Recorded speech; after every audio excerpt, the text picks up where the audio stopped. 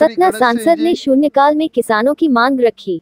लोकसभा में शून्यकाल के दौरान फ़सल बीमा के किसानों की नुकसानी फ़सलों का सर्वे ड्रोन से कराने की मांग रखी तथा राजस्व रिकॉर्ड एवं कटे फटे नक्शों की सुधार की समस्या की ओर ध्यान आकृष्ट किया।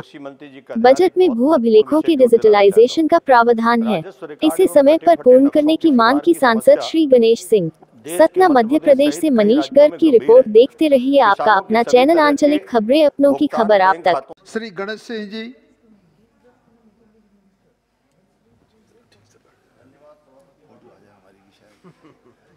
तो।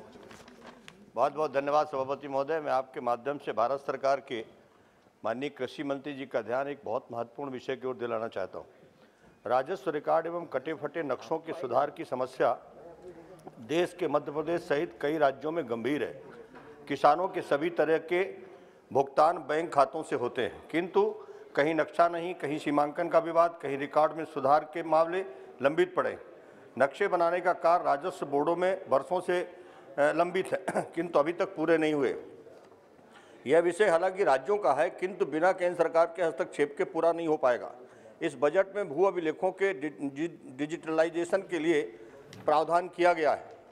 मैं मध्य प्रदेश के सतना ज़िले के साथ साथ सभी जिलों का समय सीमा में डिजिटलाइजेशन करने एवं नए राजस्व नक्शे बनाए जाने की मांग करता हूँ।